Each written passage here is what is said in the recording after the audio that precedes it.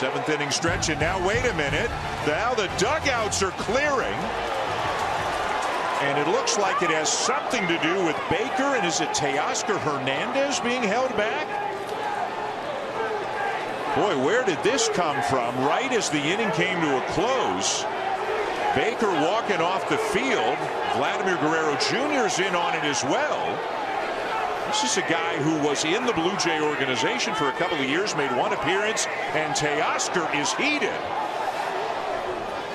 And he might need some of his own. They might need Yeah. some of his own teammates to hold on to him.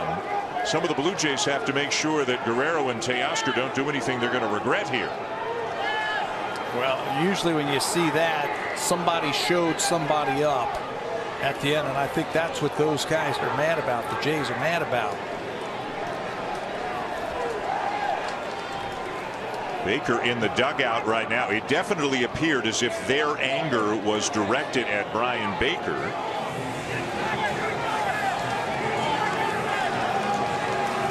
And I'll tell you what, they Blue Jays saw something that Baker did. It feels that way. We'll try to see what we can find. The bullpens have come in. I mean, that erupted in a in a heartbeat.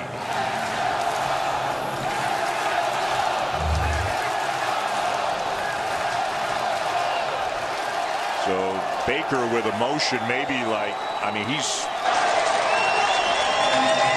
I don't know if he means keep talking, keep talking. I don't know if he saw something first from the dugout. We don't see that, so we don't know who initiated it. The reaction of the Blue Jay dugout, because like 12 of them were Yeah. coming out at all at the same time, suggests that they think Baker initiated it. And again, we may not have the complete picture right now.